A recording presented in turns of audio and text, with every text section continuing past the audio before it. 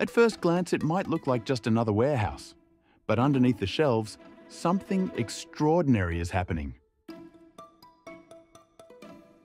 Meet the silent workforce behind your tech deliveries.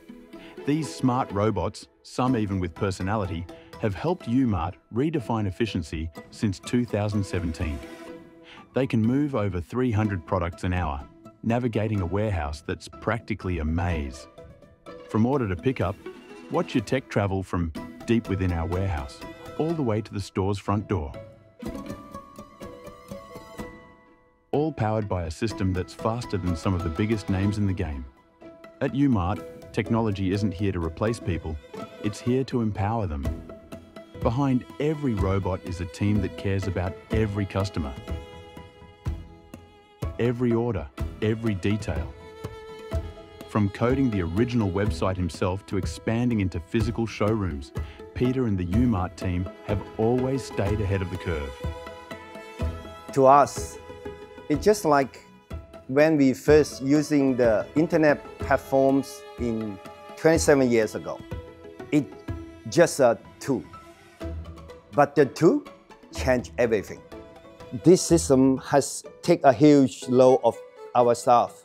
Before we had the system, and the average order pickup time will take three hours. But now it reduced to 30 minutes. And that difference really matter, especially during the busy season like uh, Christmas time or Black Friday. And we still can guarantee the order pickup and delivery on time.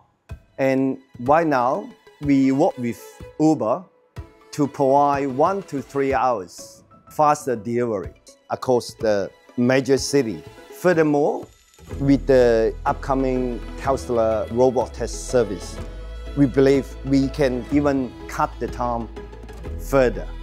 Without the robotics, and none of this would have been possible. That is why we are very happy we had the decision back in 2017 to implement this system.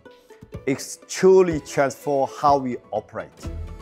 Since 1999, when UMart first opened in Milton, Brisbane, innovation has been in its DNA.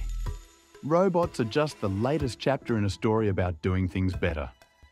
With a belief in better prices, better service, and bold ideas. The future of retail isn't just coming, it's already rolling.